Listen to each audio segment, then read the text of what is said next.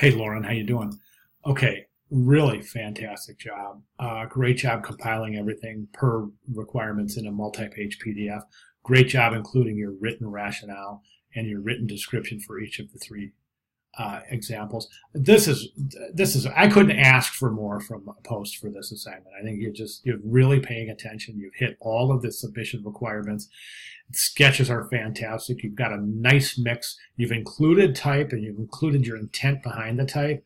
So you really got it all here. I, I love this. Please keep up the fantastic work. This is so thorough. I mean, this is this is exactly what I'm looking for. So thank you. So all right, I think that you know what? The one thing I would say here, this is guns and hoses, so it's police and fire, but equating guns with police is kind of a negative connotation.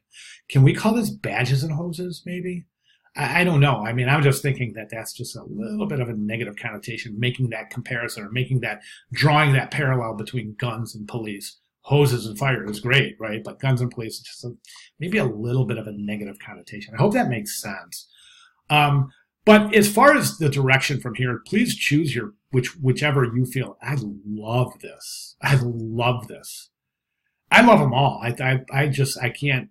I, I I'm I'm thinking it, it, any of the three has a great chance for for uh, uh, uh, to show outstanding success in the transition to the poster stage itself um, as I was saying, I just I want you to decide which you feel has the most potential or you feel the most strongly about and, and pursue that moving forward. Okay, great job, Lauren. If you have any questions at all, please let me know. Thank you very much.